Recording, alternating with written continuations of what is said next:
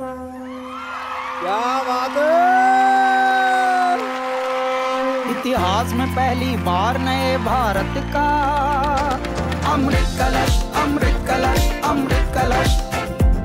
है खुलने को तैयार मेरे भारत का।